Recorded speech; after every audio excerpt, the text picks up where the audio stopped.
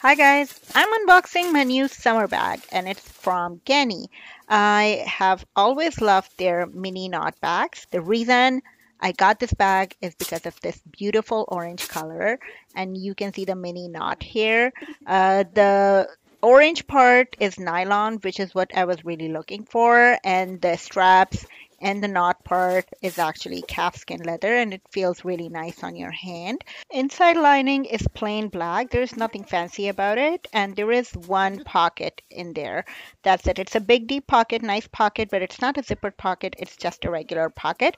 The size of the bag is quite nice. It's actually the same size as my Versace Jean Couture bag and I can almost fit everything that I had in that bag in this one a little bit more easily because it has a tad bit more space and I'm not complaining about it. It looks very cute on the shoulders and off the shoulders with a fun puff puff color for the summer.